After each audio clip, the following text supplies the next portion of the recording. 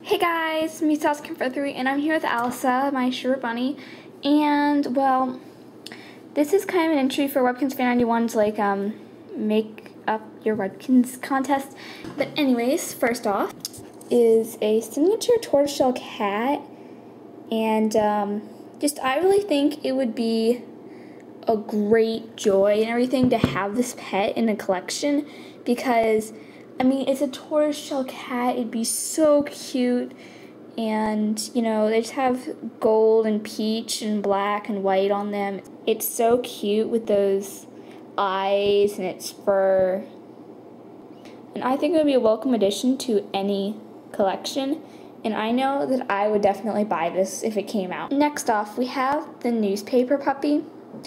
This is one me and my cousin Benny Hanna thought up and we thought it would be really cute. So pretty much it's a Webkinz with the Kinzville news on it. It also has pictures and articles on it. And kind of like the texting puppy, only it has black instead of purple. Next is the signature black cat. This is a Webkinz that's been begging to be made forever, and I know if it came out, I would actually buy three of them. My reasoning behind this is we actually have two black cats one is named Chili and the other one's named Thunder Thighs. They're both boys, and I would have want and I would want one to be a girl. And I really think that the black cats are overlooked because of silly stories. Next is the Webkinz Manta Ray. Ganz can make a great underwater pet a lot better than this drawing. I really would think that because they don't have many underwater pets that this would be a great one to be made.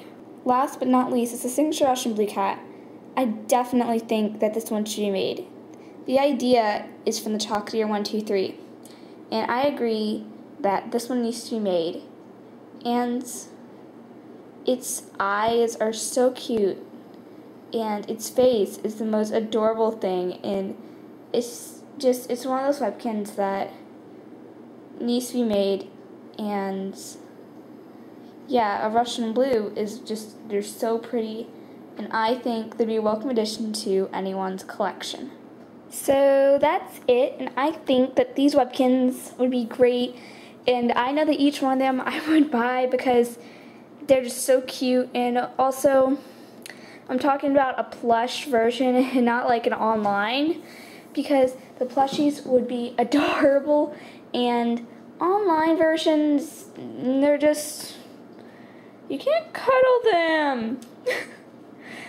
So yeah, um, comment down below which one you like the best because, yeah, honestly, I think out of the drawings, the newspaper puppy turned out the best. But that's just my opinion. So I'd like to hear what you guys think. So comment down below and tell me. So yeah, I'll see you guys in the next video. Bye!